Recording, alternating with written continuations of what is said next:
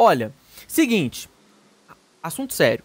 A Simeone fez uma acusação grave contra a Raquel Sherazade envolvendo a Cariúcha. Isso tem a ver com aquela treta que as duas tiveram e o momento exato em que a Cariúcha e a Raquel ficam cara a cara e a, e a, e a Cariúcha fala alguma coisa e a Raquel reclama que ela tá cuspindo. Esse momento. Entenda. A Simeone diz que a Raquel insinuou que a Cariúcha tinha uma doença em seu cuspe. Abre aspas. Por que tá tretando com uma favelada que, segundo ela, tem doenças? Você pode se sentir a fodona, que é a maior que o programa, porque tá, tá, tá, tretando com a favelada. Aí a Cariúcha, verdade. Aí a Simeone, exatamente. Vai tretar então com a Simeone? Por que tá tretando com uma favelada que, segundo ela, tem doenças? Ela provavelmente não lembra, mas ela falou que não era para cuspir na cara dela porque tinha doença. Simeone disse que Raquel não quis cuspir na cara da, da Cariúcha para não pegar essa doença. E aí ela disse: foi na hora que ela pegou o regador e falou que poderia pegar alguma coisa, disse ali a Simeone. Só que o VAR, que a gente, inclusive, a gente não, a turma ali do canal Antenados, do Telegrama, é, encontrou, não tem nenhuma menção, cochicho ou qualquer tipo de fala da Raquel que diz isso. O que a Raquel, na verdade, fala é: vamos lá. Cala a boca. Aí a Cariúcha, cala você, vadia. Vem calar, vem calar a minha boca. Aí ela vai até a Raquel. E aí depois a Raquel fala: Não, não cuspa. Não cospe, não, porque você pode ser expulsa. Foi isso que saiu da boca da Raquel. O microfone da Raquel isso. pendurado no pescoço dela não captou mais nenhuma outra palavra, como é o que a Simeone é, diz aí. Ou seja, Leão, a Simeone tá jogando sujo, inventando uma mentira a respeito da Raquel, e talvez seja até por isso que os próprios ADMs da Simeone tenham trancado as redes sociais dela, desativado, para impedir que ela sofra qualquer tipo de é, denúncia né, do perfil é, por parte dos fãs da Sherazade, que estão indignados com essa informação, Leão Lobo. É, ela, é, ela, ela acha que ela é muito esperta, essa Simeone, né? que ela é poderosa e tal mas a gente viu claramente, e, e, inclusive a Raquel tomou cuidado de botar a mão assim, mas não encostar na cariúcha, ela, ela encostou nela a mão assim, né? Porque para deixar claro que ela não estava tapando a boca de ninguém nem nada, né? Ela falou assim, não cospe porque tem gente que foi expulsa por causa disso, né? Foi isso que ela falou e todo mundo, o Brasil inteiro ouviu. Então a Simeone realmente aí deu uma escorregada na casca da banana agora com essa história e pode se prejudicar com isso. Espero que sim. Totalmente. Totalmente. Eu também acho que vai se prejudicar. Inclusive, você que achou um absurdo essa história, deixa like aí também, galera. Deixa like aí, compartilha, porque eu achei. Pra ser muito honesto, eu acho que a Simeone, ela tá se tornando a grande vilã dessa temporada. Ela tá no caminho Isso. certo para ser a vilã. E sabe por que, que eu tô falando isso? Porque ela é daquele tipo de vilão que você não percebe que é vilão.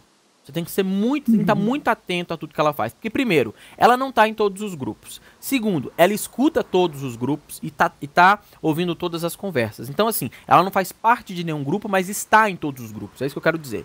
E aí, ela tá ouvindo tudo. E aí, ela vai colocando uma peça contra a outra só que sem que essas pessoas percebam que estão sendo manipuladas por ela. Então, ela chega a ser mais vilão, ou mais vilona, sei lá, pro, pro plural de vilão, é, vilã. Ela chega a ser. Obrigado, Leão. Eu, é uma grande dificuldade de falar algo. Eu tô me sentindo o pessoal dos crias aqui agora, né? Mas tudo bem.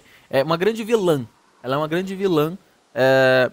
Só que ela não deixa ninguém lá dentro perceber isso. E eu acho que esse é o tipo de vilão de reality, de novela, muito mais perigoso do que uma pessoa descarada, que a gente consegue perceber, como é o caso do Laranjinha, como é o caso de outros ali. Então, para mim, esse tipo de postura que ela tem é muito mais é, nocivo é, e muito mais estratégico, porque é ela consegue. É muito mais cerebral, inclusive, né? É muito mais pensado, a maldade é mais pensada, né? E, e ela já fez isso com o Tomzão lá, né? Ela tentou botar todo mundo contra o Tomzão, agora tenta tem, contra a Raquel, né? Exatamente, exatamente. Então, assim, é, a, a, a, a, Zula falou que já tem alguns lá dentro, lá dentro percebendo esse movimento da Simeone. Que eu acho que, é a galera, inclusive, do, do grupo dos Crias, né? O pessoal dos Crias já sacou que a Simeone não é ali é, uma mocinha. Até porque na primeira oportunidade, na primeira hora que o grupo, o grupo, o, o grupo, do, o grupo dos Crias tomou aquela pancada, ela foi a primeira a falar, vocês. E já, já se tirou logo de cara, né? Sendo que ela estava aliada a eles desde o começo da competição. A gente vai continuar acompanhando os passos que a Simeone está dando e vamos trazer aqui para vocês as nossas opiniões no Splash E ela, certo? e um detalhe, Olha, ela manipula hum, muito a Cariúcha e a, e a Jenny, né? Ela tem as duas ali como hum. amigas, né? Na verdade, ela manipula as duas. E a Cariúcha é, é estourada e tal, e a Jenny também. Então ela vai e usa as duas para fazer o serviço porco. Exatamente. Olha, inclusive, vamos voltar naquele assunto que é a formação da roça, né? Quem o André vai indicar? A gente já falou aqui que provavelmente nosso palpite, meio do leão, é que seja a Cariúcha. Mas lembrando que existem outras dinâmicas ali para acontecer na noite de hoje, como o poder da chama laranja e também a puxada da baia. Quem vai poder ser indicado da baia? WL, Alicia, Darlan ou Raquel?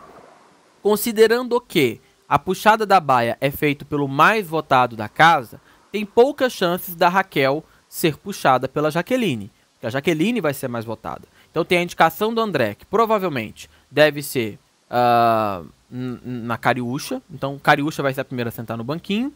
Depois a gente tem a votação da casa, que deve ser a Jaqueline. Jaqueline é a segunda, portanto, a sentar no banquinho. E a Jaque vai ter o direito de puxar alguém da baia não vai puxar a Raquel, naturalmente. Talvez ela puxe o Laranjinha, certo?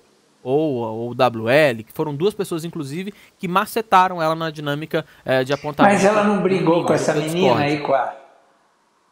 Ela não brigou com a essa Jaque menina não, A Jaque não brigou com a Alicia. Com a Alicia, ah, não. achei que tinha brigado. Quem brigou com ela foi a Nádia.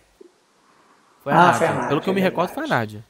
É. É. Aí então, é, é, ela vai ficar só nessas duas opções, Leão. WL, que é aquele ali loirinho, né? E o loirinho. laranjinha. Então. Que é meio, meio sobra, né? O WL. Ele é meio. É meio, meio blazer, né? assim, né? Meio. Co é, cover do outro lá. Como é? Cover não, como é? do Yuri. Eles são muito parecidos, do, né? Do Yuri, né? É. É. Enfim, é. Agora, Agora eu acho que vai o é, laranja. Realmente, né? Só se eles forem burros, né? Para votar uh, na, na, Raquel. Já perceberam que a Raquel uh, é a grande favorita aqui fora. Eu acho que, acho que já deu para sacar, né? Ela não pode ser votada. Porque ela vai estar tá na baia. E na baia, a, a, a, sede não pode votar. Só A baia ah. sempre é puxar. Alguém da baia sempre vai para a roça. Um dos quatro sempre vai. Sim. É porque quem faz a, a escolha de quem vai para a roça da Baia é quem está no segundo banquinho, ou seja, quem tomou mais votos da casa. Como hoje a gente já sabe tá. que vai ser a Jaqueline, é, a Jaque não vai puxar a Raquel, porque é amiga de dela. Vai puxar é. um ah, dos entendi, é três. É verdade. Exato. Você tem razão. É. Aí o quarto banquinho, o Leão, é feito pelo Resta 1. Como é que funciona?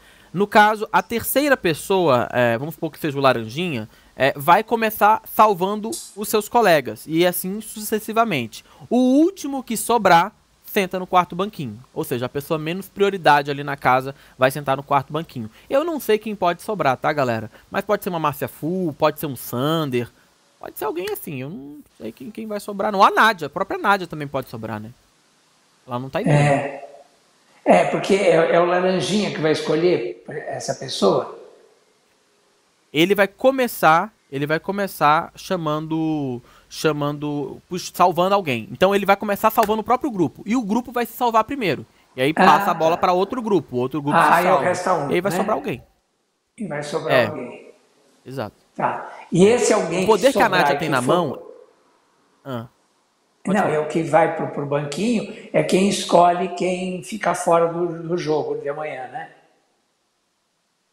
Em tese seria, é, tá certo o seu raciocínio. Só que a Nádia essa semana ganhou um poder que é ah. vetar alguém da prova do fazendeiro. Ela que vai escolher ah. quem, quem não vai poder fazer a prova. Ela que vai escolher. Então ela vai olhar para aquelas quatro pessoas e vai falar: você não faz a prova. Ou seja, você tá direto na roça. É um poder forte esse, inclusive. É, bem forte. É muito forte, na minha opinião. E promete, hoje estou ficando animado. Eu também tô, eu também tô. Eu acho que é. vai ser incrível a formação da roça hoje. Vai ser incrível. É, o pessoal tá falando que hoje não tem resta 1. Não tem resta 1, ô, ô Rosane? Por que, que não tem resta 1? Eu dormi e não vi o Play Plus? Não vai ter resta 1? Por que, que não vai é. ter? É, só ela falou que não vai ter aqui, né? Olha, mas o João Matheus tá falando, Dieguinho e Leão, sou fã de vocês, abraços de Natal. A Simeone não suja as mãos e o Black tá se perdendo. O, é, a Simeone manda, manda os outros sujarem as mãos por ela. E o Black, de fato, já demonstrou não ser nada daquilo que a gente viu no Big Brother. Ele tá sendo bem pesado em alguns comentários que ele tá fazendo, sobretudo uh, no comportamento com a Jaqueline e também ali o comportamento com a própria é, Nádia. O que, que você acha, o Leão? Você está gostando? É, eu acho que ele está fazendo, ele está querendo mostrar que ele está fazendo um outro jogo e tal, mais agressivo e tal, né? O outro ele era mais maneirinho, assim, se fazia de vítima e tal. E agora ele está partindo para cima mesmo, tá? Né? Ontem ele fez um escândalo lá com a Jaqueline, né? Humilhou e tal. Enfim, eu acho que é isso. Eu acho que, mas agora estão começando a aparecer mais as caras verdadeiras né, de todos ali, né? Então, vamos, é, hoje vai ser, nossa, eu tô, não vejo a que sei. Tá empolgado.